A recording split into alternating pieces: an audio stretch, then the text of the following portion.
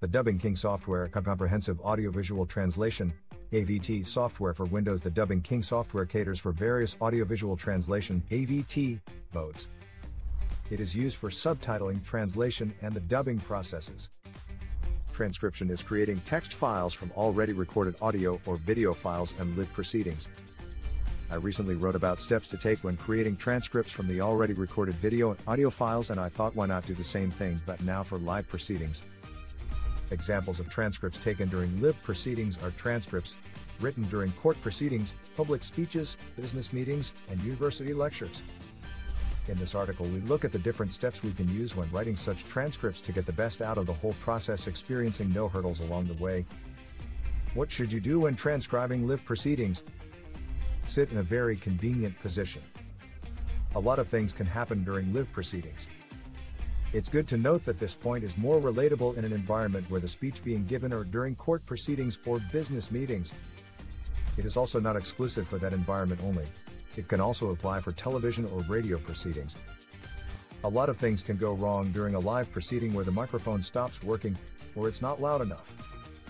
A lot of things might happen that might affect your process of creating the transcripts, Sitting closer to the speaker would be convenient because at least it's easy to listen to something when you are close to someone than when you are sitting far. The reality of the matter is, proceedings will continue regardless of whether the microphones or sound amplifiers are working well or not. This is an important point to note because you do not want to interrupt your work in the middle of a proceeding, looking for a better place to sit. It will just make your transcript writing process harder and complicated. Have a good recording device. Have you ever wondered why a lot of journalists usually have voice recorders with them during press conferences, even though they are always taking notes on their notebooks? If you have never asked yourself why that is, then I will gladly let you know. Most times the recordings usually work as some form of a backup for any information that they might have missed or not understood well. The same thing happens when a transcriber is writing a transcript for a live proceeding. It is always very important to have a good voice recorder that has no sound distortion. This usually works to your benefit because if you miss a certain point or if the speaker's talking speed is much faster as compared to your typing or writing speed you will have a backup to compare notes with. Another thing is that you might understand word or sentences and end up writing your own things, so a recorded version of the proceeding will work great for you. As many journalists usually use professional recording devices, you can use your cell phone for the recording or depending on how invested you are in your craft, you can invest in a good digital recorder that will serve for a long time and its content is usually top notch. You can forget writing your transcript but please do not forget recording the live proceeding and you will thank me later. If you have an iPhone or an iPod Touch, you can record using the Voice Memo app. For Android users, download the Smart Voice Recorder app or the Easy Voice Recorder app take notes. I hope you did not take my point on forgetting to write your transcript and record the proceedings. I was just joking because it is very important if not the most important thing to write your notes. You might write your notes on your notebook computer, phone or whatever way you please. Whichever way that makes you comfortable is what you should probably go with, because it also depends on what your speed is in relation to that of the proceeding. You might be someone with a high typing speed or a high writing speed, so whatever works well for you is what you should strive to use. This will allow you to make notes that will be suitable in writing the main transcript without losing the context of the original content. When taking your notes, sit at a position where you will hear what is being said, which also makes your work super easy. Set up a recording device.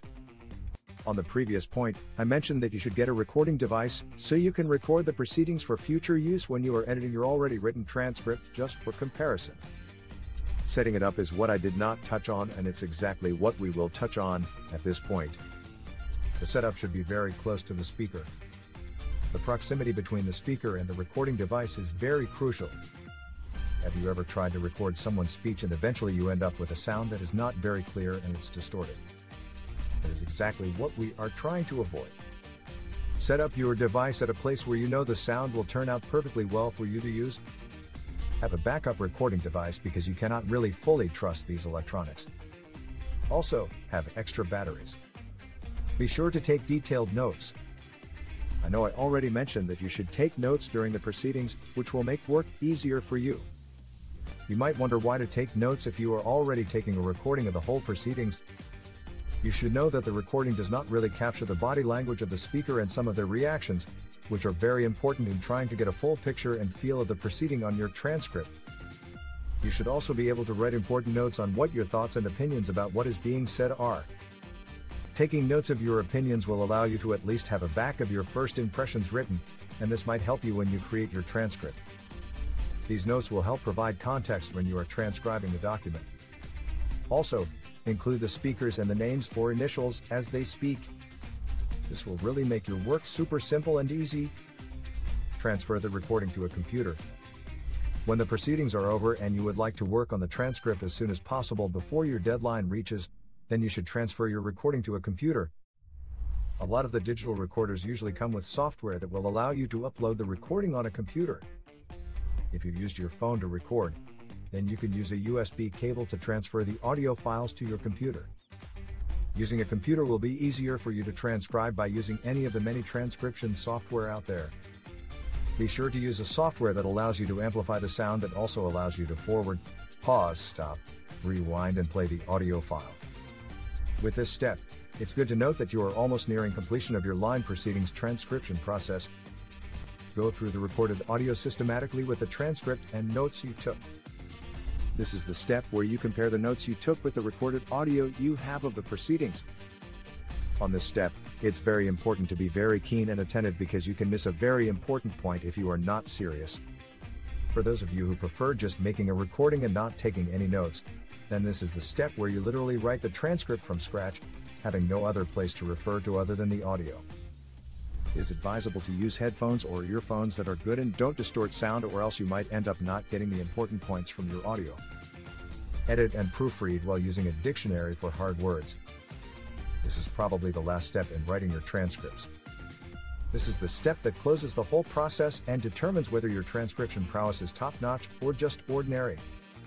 There is nothing worse than handing in a transcript that has grammatical errors and spelling errors. As a transcriber, these are the two main mistakes you should strive to stay clear of because they end up making you look terrible, more so if you had ample time to work on the transcript. You should be able to check for spelling errors and use a dictionary if you have to, and also confirm if all your statements are grammatically correct. You can go through your transcript and make sure everything is in check, and you can submit your work to your client. Following all these steps when taking live proceeding transcripts will make sure you come up with transcripts that will show your prowess and your client will love with your work. You might not think all the steps are necessary but to each their own but I truly voucher for all these steps. If you are a transcriber you can try them out and see how well they work for you. Written by Winny Moraa Obiso.